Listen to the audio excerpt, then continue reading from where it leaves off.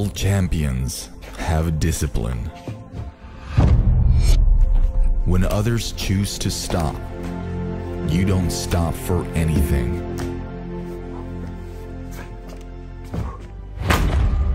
Because it's the discipline to work hard, even in times when all seems hopeless.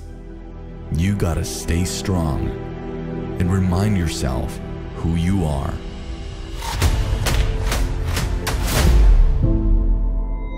Remain disciplined, and your time will come. What is up smartphone filmmakers and welcome back to my channel. This is the best time of year to start filming with your phone because the video quality you get out of it is just muy bueno. We almost always see at least some level of camera improvements every year and it's only getting better and better. I'm always looking for the best possible ways to achieve a cinematic look in our videos when it comes to using a phone. With the iPhone 13 lineup, we have come a step closer to achieving that look. If you haven't heard of it already, it's called cinematic mode, which by the way, the video you saw was shot with it. So what does cinematic mode do? Well, it's basically portrait video on your iPhone which blurs out the background that creates what is called a bokeh or depth of field effect. This makes your video look more dynamic and helps isolate the subject, allowing the viewer to focus their attention on what's important. By the way, this talking head video you're seeing right now is shot on the iPhone 13 Pro Max using cinematic mode. For those that don't have the iPhone 13 Pro Max, don't worry, you can still achieve a blurry background with your iPhone. I will leave links in the video description below for you to check out. Before the launch of cinematic mode, the process of achieving a blurry background wasn't easy. You either had the method to download a third-party app like Focos Live or ProTake app, but these come with a lot of imperfections, or use the method of buying a DOF adapter, which can be quite costly and you aren't as flexible when shooting. I'm not saying that cinematic mode is perfect, but from my user experience, it's more advanced and overall gives you a better quality of depth of field. The footage looks convincing, it does a great job of processing the image in real time,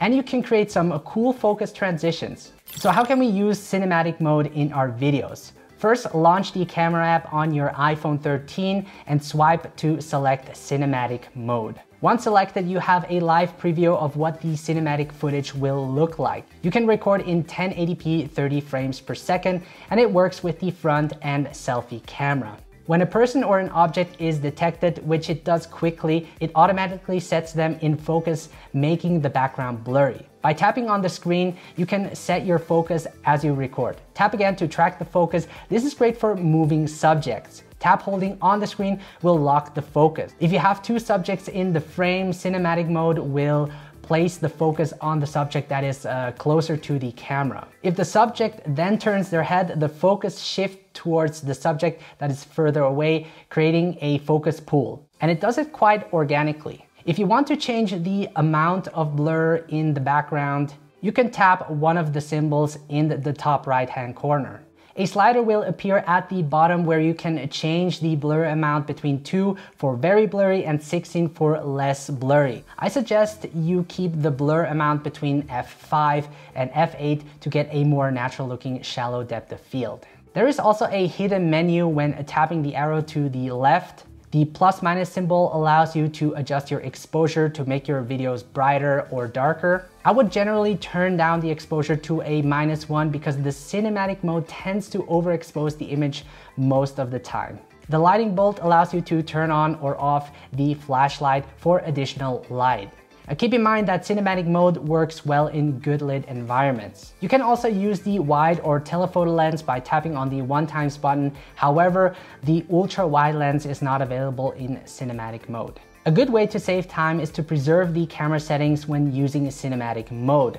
This way you can set your values such as the exposure and f-stop and when you open cinematic mode again, the settings will stay the way how you left it. This also works with the normal video mode on the iPhone. Now the beauty about recording your videos in cinematic mode is that you can change the focus and blur even after you shot your videos using the camera apps editor. So let me show you how to edit your videos that was taken in cinematic mode. In the photo app, tap the video that you would like to edit. select the edit and the video timeline appears below your video. The white dots are the points where the focus has changed. You can move the indicator to scrub through your footage. What's great is that you can see what's currently in focus indicated by the yellow square and it also recognizes people or objects that are in the background which are indicated with a white square. This is where people get a little bit confused. Now, below the timeline, you have these white dots, which represent the automatic focus pull made by the camera app. These can't be deleted. The yellow dots represent the manual focus pulls that were made by me, for example, or by you. These can be deleted. Like I mentioned, a focus pull is basically the change of focus in a scene. On the top left, you can tap the focus button to switch between automatic focus tracking or your manually selected focus point. Since I want to manually adjust my focus, I keep that enabled all the time. You can tap on the white square to change the focus point to that person or object. You can also tap anywhere else to set your focus point. You can double tap on the subject, which will enable automatic focus tracking, which will track the subject throughout the video. To lock the focus, just tap hold on the screen. To change the blur amount, just tap the F button and set a different value, which will then be applied to the entire clip. And this is really awesome because if you find the blur amount too unnatural, you can always change it afterwards. You can also remove the bokeh completely by tapping on the yellow cinematic button at the top of the screen. So guys, as you can see, the editing process with cinematic mode is user-friendly and it is fun to work with. By the way, you can also edit your focus point and change the depth of field using other editing tools such as iMovie or Final Cut Pro, which is really exciting. Cinematic mode isn't perfect, but the quality of depth of field you get out of it is truly amazing and it is getting closer to taking over the jobs of DSLRs. Yes!